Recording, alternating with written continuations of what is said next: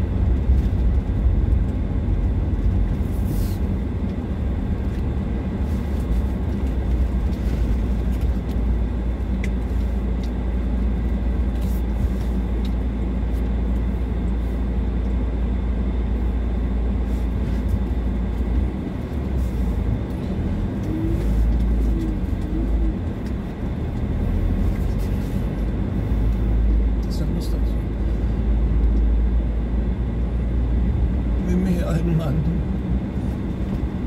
Also,